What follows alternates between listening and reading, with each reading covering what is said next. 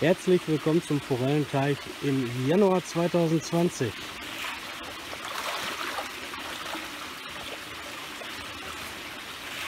Ja, wie ihr seht, hat sich zum Dezember jetzt erstmal nichts geändert. Die Fische wachsen, fressen super. Die Wassersituation ist sehr zufriedenstellend. Ja, aber ich habe was geändert. Und zwar hatte ich ja im Dezemberteil hier vorne meine Wildkamera positioniert. Die habe ich jetzt da weggenommen und habe die hier vorne hingehängt. Denn, äh, ja, folgender Grund. In der Perspektive, ich stelle euch das mal eben nach,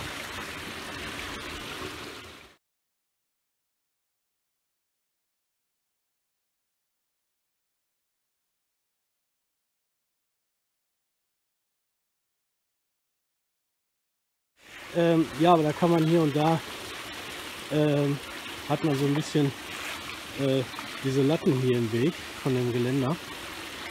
Und äh, ich verspreche mir von dieser Perspektive einfach ein, eine viel bessere Übersicht, um die Machenschaften des Fischreihers etwas besser im Auge zu behalten. Ihr schaut euch jetzt erstmal die ersten Bilder der Kamera an. Die kommen jetzt so von der Monatswende Dezember, Januar. Da können wir den Kollegen Fischreiher schon mal hier am Teich beobachten. Und äh, ja, wenn ich fertig bin mit Füttern, werde ich zum ersten Mal jetzt aus der Perspektive die Bilder auslesen und dann mal schauen, ob der Kollege von der gefiederten Luftwaffe denn wieder hier am Teich war und ob er tatsächlich nur spazieren geht oder ob er sich auch bemüht, irgendwie der Fische habhaft zu werden.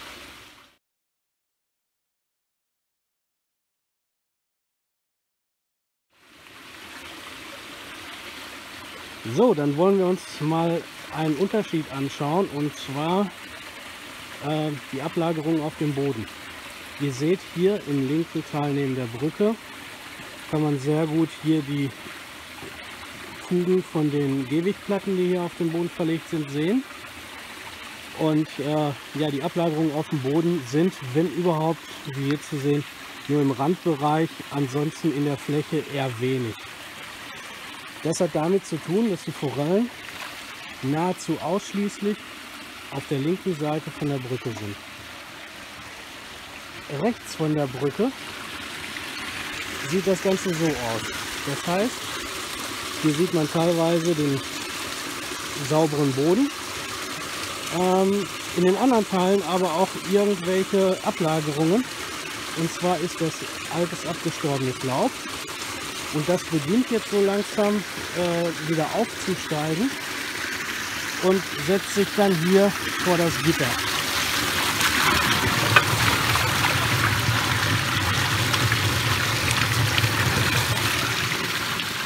Ja, das war gerade der Vorführeffekt, da war natürlich auch frisches Laub bei, was irgendwie reingeweht ist. Nichtsdestotrotz hatte ich das die letzten Tage, dass dieses ganze dunkle Zeug hier äh, langsam aufsteigt und sich dann entsprechend hier vorsetzt und das verstopft. Äh, ja, das zeigt eigentlich ganz deutlich, dass die Forellen lieber da hinten sind, anstatt hier. Warum das so ist, weiß ich nicht.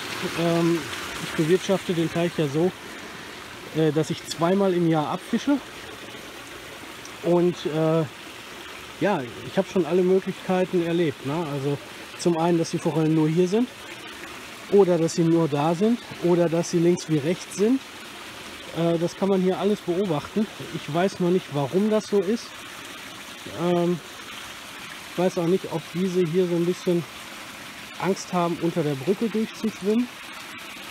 Beim letzten Durchgang, die Fische, die haben sich gerne unter der Brücke versteckt und dann sind die nach links wie rechts auch in den Teich reingeschwommen.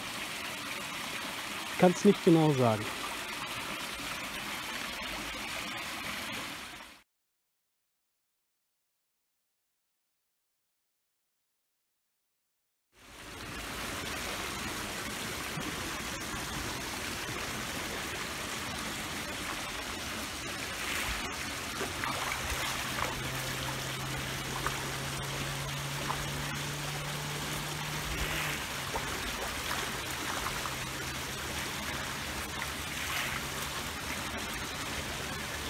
Ja, wir haben heute den 10. Januar und am Teich scheint alles total unspektakulär und in Ordnung zu sein. Es ist etwas regnerisch die Tage und äh, naja, das, die Wassermenge ist etwas zurückgegangen gegenüber dem, was wir teilweise im Dezember hatten. Äh, aber immer noch mehr als ausreichend. Ihr seht es hier an äh, zwei von drei Zuläufen äh, schwappt das Wasser oben drüber. Auch da läuft es oben drüber. Kann man vielleicht so eben erkennen.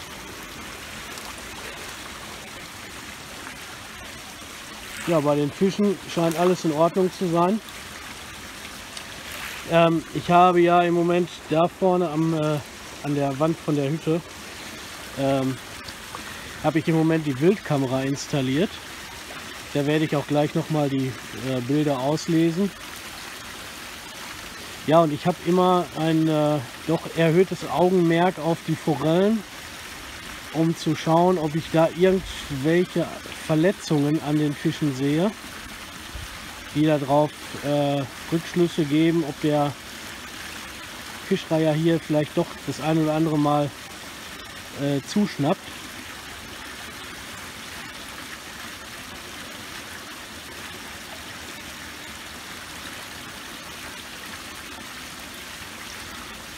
Na, ich werde nicht so ganz schlau daraus. Ich werde das mal ganz in Ruhe schauen.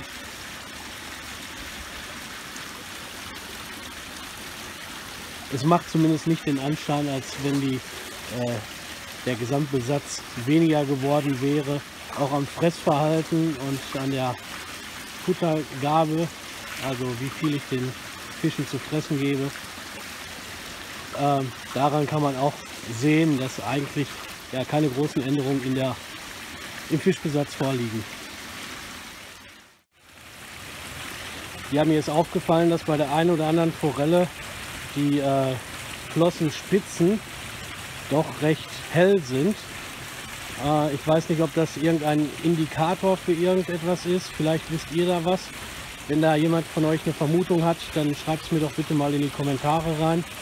Ansonsten zeigen die Forellen ein ganz normales Verhalten. Also das sieht alles in Ordnung aus, wie die sich bewegen, was die so machen. Also vom Verhalten her gibt es da keinerlei Anzeichen, die auf irgendeine besorgniserregende Situation hindeuten würden.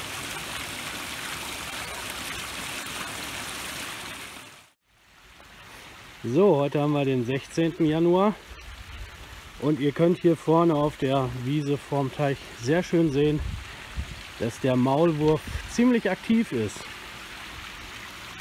Ja, und dummerweise ist er das nicht nur vorm Teich, nein, im, im Teich nicht, aber ich hoffe, man kann es ein bisschen sehen. Seine Haufen schiebt er in den Teich rein. Das heißt, er ist hinter der Wand irgendwo aktiv, schiebt Erde raus. Ja, und jetzt habe ich da vorne und da schön die Erde liegen, die eigentlich zur Stützung der Wand dienen soll. Auch da vorne in dem Bereich oder da sieht man überall, wie, die, wie er die Erde von hinten rausgedrückt hat. Da vorne auch. Da. Ja. Also der ist schon sehr aktiv. Ich weiß noch gar nicht, wie ich dem hier klar machen kann, dass er doch bitte woanders graben soll. Na, ist ja nicht so, als wäre hier keine Wiese wo er sich austoben dürfte. Naja, müssen wir dann so hinnehmen und äh, wenn der Teich abgelassen wird, das wird äh, vor Ostern irgendwann sein, äh, dann muss ich eben zusehen, dass ich die Erde wieder irgendwie verbaut bekomme. Im schlimmsten Fall muss ich die Platten aufnehmen, das darunter nochmal wieder verdichten und entsprechend auffüllen. Aber das sehen wir dann, das ist ein Problem für später, denn im Moment will und brauche ich das sowieso nicht ändern. Gut, ja, gucken wir uns die Fische an.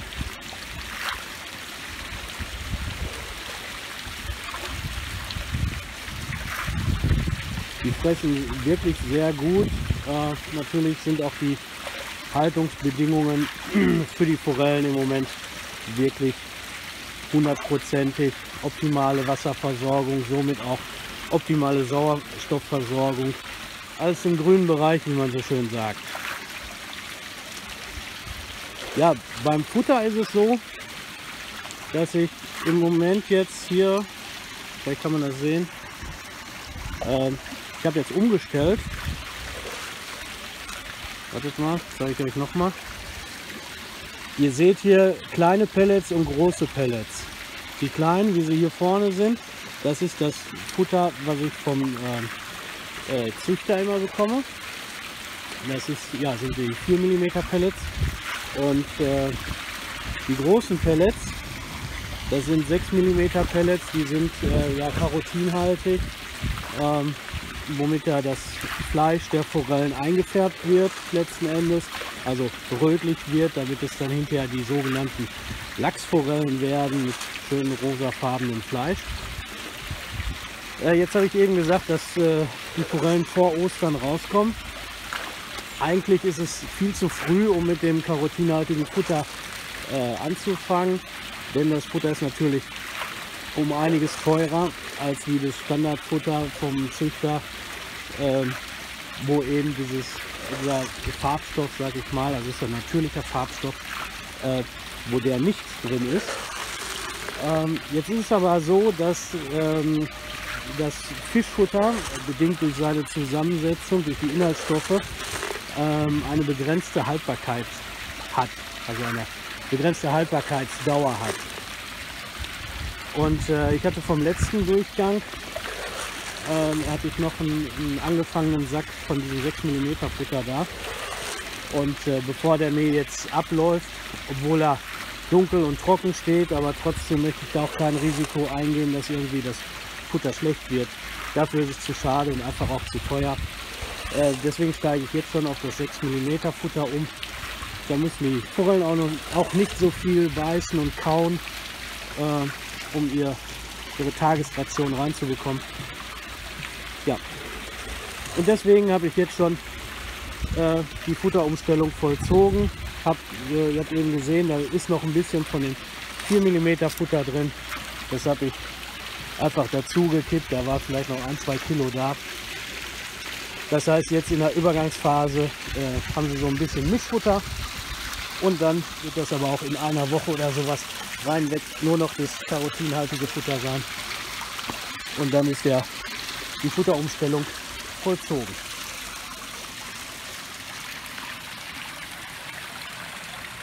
Ja, auf dem äh, Grund vom Teich, da kann man natürlich jetzt sehen, dass vermehrt äh, sich da Dreck angesammelt hat. Äh, wie schon öfters erklärt, zum einen sind das die Ausscheidungen vom Fisch, zum anderen ist es jetzt aber auch so, dass das Laub, was hier im ja, im, im Herbst und äh, zeitigen Winter dann doch ins Wasser gefallen ist und abgesackt ist, ähm, ja, dieses Laub verrottet dann eben mit der Zeit. Und diese Zeit ist jetzt so weit gekommen. Ja, man kann das hier vorne an dem Auslauf schön sehen oder auch hier am Gitter oder hier, ich greife mal rein.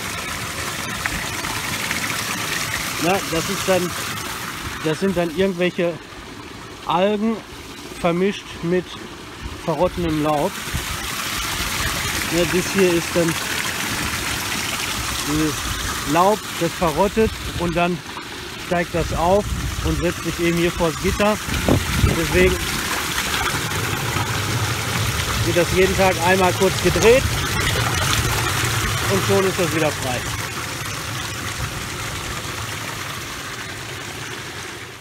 Äh, die vernünftige Lösung wäre, den ganzen Krempel einmal unten aus dem Teich rauszusaugen. Ja, und zum, äh, zum Thema Teich reinigen ähm, habe ich mir schon Gedanken gemacht. Da habe ich auch schon einen Teil eines Prototyps gebaut, den ich aber noch nicht getestet habe. Da fehlt nur noch ein Teil zu. Wird es demnächst ein Video zu geben. Das heißt, wenn ihr das sehen wollt und nicht verpassen wollt, dann möchte ich euch doch einfach bitten, den Kanal zu abonnieren, ähm, auf die Glocke zu drücken denn dann werdet ihr automatisch informiert äh, ja, über jedes neue Video, was da rauskommt. So dann auch demnächst über den Schlammsauger. Ähm, ist eine sehr einfache Lösung, die ich mir da überlegt habe. Ich hoffe, dass es funktioniert. Äh, ja, wenn es so nicht klappt, dann muss ich mir was Neues überlegen. Ihr werdet das auf jeden Fall sehen, selbst wenn der Versuch fehlschlagen wird. Ja, so viel für heute. Ähm, die Tage schauen wir dann mehr. Vielleicht können wir dann irgendwann die Fische auch mal besser sehen. Das ist jetzt je nach Tageszeit und, und äh, Stand der Sonne bzw. Äh, Einfallwinkel der, äh, vom Licht kann man die besser oder schlechter oder gar nicht sehen. Ja, ihr Lieben, der Januar ist wieder rum. Ich weiß nicht, ob man das auf den Aufnahmen sehen kann, wie das Wasser hier dampft. Also ein bisschen kann man sehen. Ne? Also die Außentemperaturen sind doch jetzt gefallen, liegen um den Gefrierpunkt. Und äh, man kann sehr gut daran sehen, dass die Wassertemperatur hier auch im Winter immer äh, ordentlich im Plusbereich ist. Also jetzt nicht irgendwie bei 10 Grad oder so. Im Februar-Video werde ich mal öfters die Temperatur messen. Dann äh, kann ich das auch mal für euch festhalten. Und natürlich für mich auch. Es gibt ja die Maßgabe, wenn es zu kalt ist oder zu warm ist im Wasser, dann sollte man das Füttern entsprechend anpassen. Ich beobachte in dem Zusammenhang immer, wie sich die Fische verhalten, das heißt, wie die auf Futter reagieren. Also dadurch, dass ich jeden Tag hier bin und von Hand fütter, kann ich das recht gut anpassen. Und wenn die Forellen keine Anstalten mehr machen, dass sie Futter aufnehmen, dann stelle ich das Füttern auch ein. Aber so wie hier jetzt sieht man, das ist alles im grünen Bereich. Also die haben gut Hunger, das passt alles. Ich werde gleich noch mal die Kamera auslesen. Nach dem, was ich bislang so in den Fotos gesehen habe, also ihr habt eine Auswahl zu sehen bekommen. Es gibt da natürlich noch ein paar mehr Fotos von, aber die sind relativ unspektakulär, beziehungsweise sagen die nichts weiter darüber aus, als dass der Fischreiher halt hier zu Besuch kommt. Man kann aber an keinem Bild sehen, dass er irgendwie den Schnabel auch nur ansatzweise ins Wasser steckt.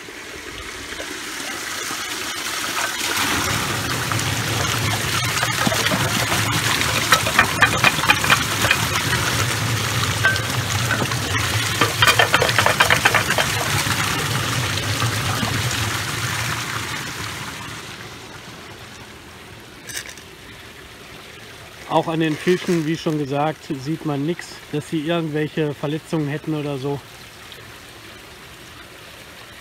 Von daher brauche ich mir wohl keine Sorgen machen, dass der Fischreihe mir hier irgendwas von den Fischen verletzt, klaut oder sonst was.